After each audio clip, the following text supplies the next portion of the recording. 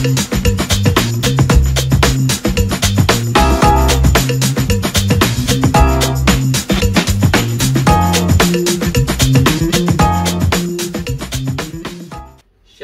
everyone, good morning, selamat pagi semuanya di mana pun Anda berada yang di Indonesia, di Malaysia, di Filipina, maupun di Taipei, maupun di Australia, maupun di Amerika, di mana pun Anda berada. Hari ini uh, dari Brunei juga, dari semua Asia dan Australia dan Amerika, good morning, uh, welcome to Devotion from Nation. This morning pagi hari ini saya mau menyai manfaat daripada teguran. Saudara, ketika Anda mendengar sebuah kata teguran, apa yang ada di benak Anda? Tentu ketika kita mendengar sebuah kata tentang teguran atau teguran, saya percaya setiap orang pasti berpikir agak sedikit negatif, Saudara. Karena identik uh, teguran adalah sesuatu karena kita salah, berbuat salah dan sebagainya, sehingga itu menjadi sebuah image yang negatif. Tapi hari ini saya mau menyampaikan sebuah perspektif yang berbeda mengenai kata teguran, saudara. Karena saya percaya teguran adalah sesuatu yang baik dan memberikan manfaat. Itu sebabnya dalam devotion pagi hari ini saya mau menyampaikan tentang manfaat daripada sebuah teguran, saudara, yang Anda dan saya terima. Sebelumnya saya mengajak Anda untuk baca satu ayat dalam Wahyu pasal yang ketiga, ayat yang ke-19. Dikatakan seperti ini, Barang siapa kukasihi, ia kutegur dan kuhajar, Sebab itu relakanlah hatimu dan bertobatlah. Saudara firman Tuhan jelas sekali berkata dalam Wahyu pasal 3 ayat 19, barang siapa dikasih Tuhan, maka dia akan ditegur dan dihajar. Saudara Alkitab jelas sekali mengatakan bahwa teguran dari Tuhan bukan sesuatu yang jelek, teguran dari Tuhan bukan sesuatu yang negatif, tapi justru karena dia mengasihi Anda dan saya, dia menegur setiap kita. Nah pagi hari ini saya mengajak Anda, mari kita buka hati bersama-sama Jangan menilai dengan sebuah perspektif yang salah mengenai sebuah kata teguran. Tapi kita membuka hati kita dan menilai dengan perspektifnya Tuhan. Dikatakan kalau siapa dikasih dia, maka Tuhan akan menegur kita. Artinya kalau saat ini kita mendapat sebuah teguran dalam kehidupan kita, artinya Tuhan mengasihi kita. Itu sebabnya dia menegur setiap kita. Nah pagi hari ini saudara dalam devotion this morning, sedikitnya ada tiga hal yang bermanfaat ketika Tuhan memberikan teguran dalam kehidupan Anda dan saya. Ketika Tuhan menyampaikan sebuah teguran yang begitu keras dalam kehidupan kita, melalui situasi, melalui kondisi, melalui keadaan kita, maupun melalui hamba-hamba Tuhan atau melalui teman atau melalui siapa pun secara ketika teguran datang dalam kehidupan Anda, Anda jangan berpikir dengan perspektif yang negatif, tapi kita menilai bahwa ada manfaat di balik sebuah teguran.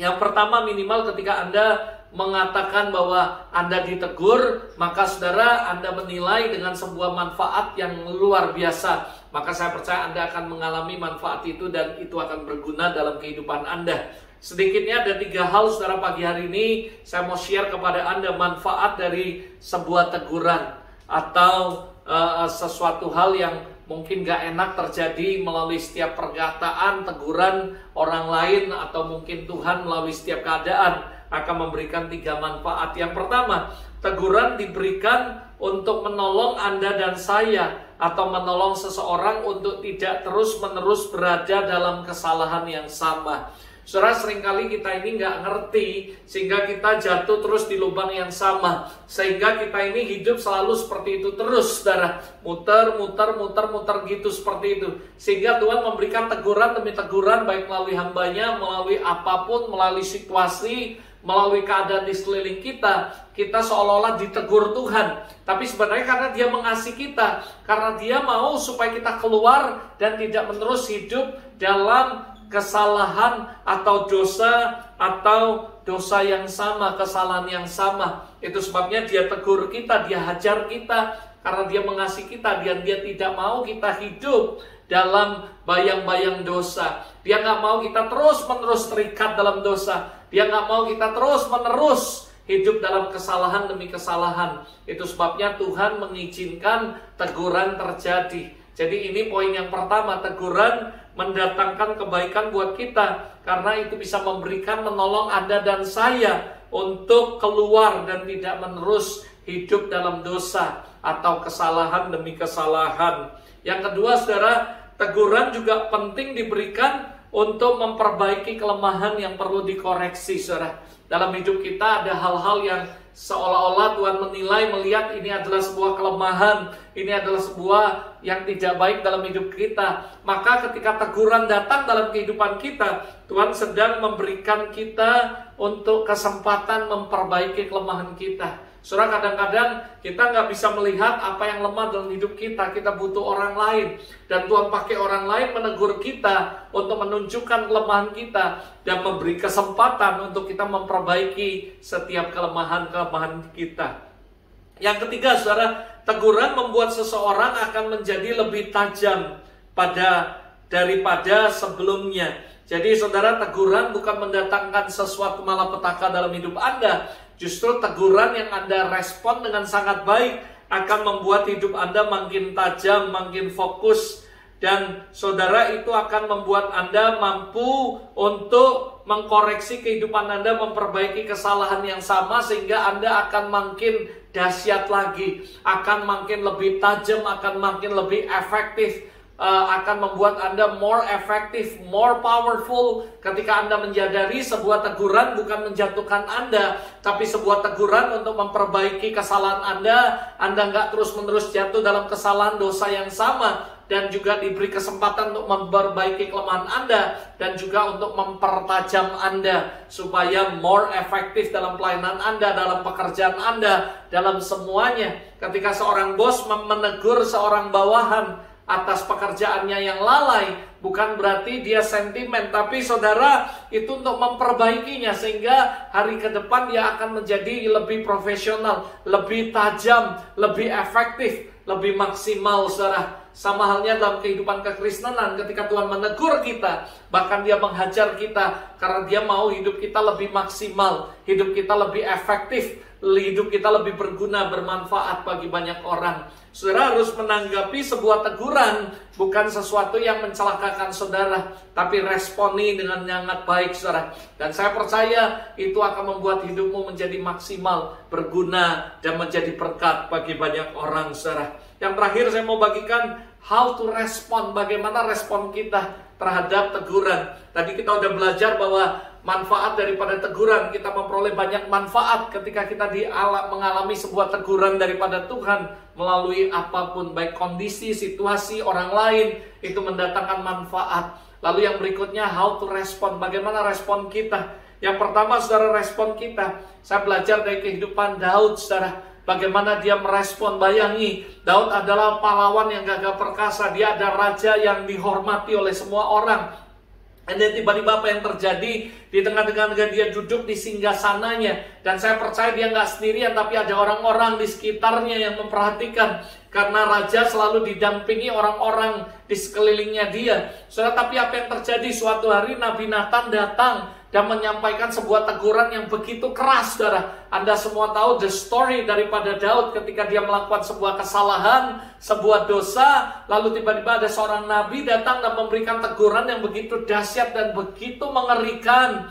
Saudara, apa yang menjadi respon Daud? Dia bertobat dan merendahkan diri. Saudara, menanggapi teguran diperlukan kerendahan hati. Saya percaya humility is the key untuk Anda merespon teguran baik yang Tuhan izinkan melalui keadaan ataupun orang lain yang menegur saudara. Humility is the key adalah poin penting, adalah kunci untuk Anda bisa merespon teguran dengan perspektifnya Tuhan. Daud tidak menanggapi dengan marah lalu memenjarakan Nabi Nathan atau membunuh dia karena menyampaikan hal yang buruk dalam kehidupannya. Tapi Daud justru berlutut bertobat dan hari itu apa yang terjadi? Daud mengalami hidup yang maksimal dia lalu diampuni, bahkan dia tidak perlu mengalami banyak hal yang gak baik dalam kehidupan Daud. Sekalipun ada harga yang harus dia bayar, ada konsekuensi daripada dosanya, tapi nyawanya, jiwanya diselamatkan, saudara. Saya percaya teguran Tuhan selalu mendatangkan kebaikan dalam kehidupan kita.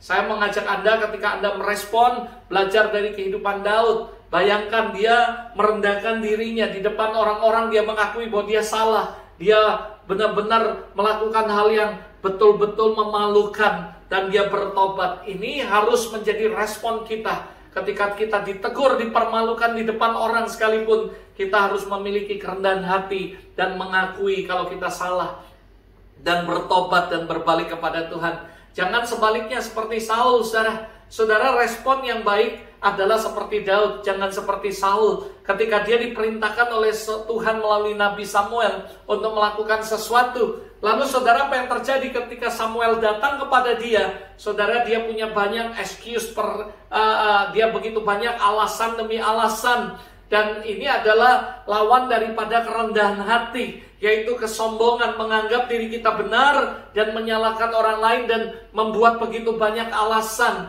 Saudara ketika Samuel menegur uh, uh, uh, Samuel menegur Saul, saudara, dia bukan mengakui seperti Daud bahwa dia salah tidak taat kepada Allah, malah dia menyalahkan rakyatnya. Dia menyalahkan perihal persembahan kambing domba dan dia bahkan memakai alasan yang sangat rohani akan diambil dan dipersembahkan untuk Tuhan, saudara. Saudara, Tuhan nggak peduli dengan alasan yang rohani. Dosa tetap dosa, salah tetap salah. Ketidaktaatan tetap ketidaktaatan. Harusnya ketika ditegur, dia bertobat dan mengakui. Tapi apa yang dilakukan Saul berbeda yang dilakukan Daud. Saul tidak mengakui, bahkan menyalahkan rakyatnya. Dia menyalahkan orang lain. Saudara, ini adalah sifat yang kurang baik respon yang benar, Anda harus memiliki kerendahan hati, mengakui di hadapan Tuhan dan bertobat. Saya berdoa supaya Anda dan saya pagi hari ini ketika Anda ditegur, sekali lagi miliki perspektif yang benar bahwa teguran bukan untuk menjatuhkan Anda, teguran daripada Tuhan bukan untuk menghancurkan hidup Anda, tapi justru memberikan manfaat yang luar biasa dalam kehidupan Anda. Ingat ayat ini, barang siapa ku kasihi, ia ku tegur dan ku hajar. Sebab itu relakanlah dirimu belajar dari the story of David, the story of daripada Daud, Raja Daud yang merendahkan diri mengakui di hadapan Tuhan. Jangan seperti Saul yang tidak mengakui kesalahan bahkan menyalahkan orang lain. God bless you dan saya berdoa supaya pagi hari ini mari sama-sama kita responi teguran Tuhan dengan sikap yang rendah hati. Bapak Surgawi aku berdoa untuk setiap umatmu di mana pun mereka berada hari ini Tuhan yang di seluruh Asia, Australia dan Amerika. Kami berdoa memberkati setiap mereka di dalam nama Tuhan Yesus. Lord aku berdoa biarlah ketika kami mungkin hari-hari ini masuk dalam proses ditegur Tuhan melalui situasi, melalui keadaan, melalui sakit penyakit atau melalui masalah, problem apa pun yang kami hadapi, hati kami terbuka dengan rendah hati, memperbaiki dan mengakui dan bertobat ya Bapak. Aku berdoa setiap umatmu di dalam nama Yesus firman yang hari ini kami dengar Tuhan jadi berkat buat kami. Kami tidak merespon dengan yang negatif, tapi kami merespon dengan kerendahan hati. Karena kami tahu kalau kami ditegur karena Engkau mengasihi kami. Buat hidup kami lebih efektif, buat hidup kami lebih maksimal. Lord, I bless all your people in Asia, di Asia, Australia, dan Amerika will be blessed in the name of Jesus. Aku berdoa berkati setiap mereka. I speak life, healing, breakthrough, and restoration in the name of Jesus. Terima kasih Bapak, dalam nama Yesus kami berdoa. Amin. Amin. God bless you and see you next week. See you next next time in devotion yang berikutnya. God bless you.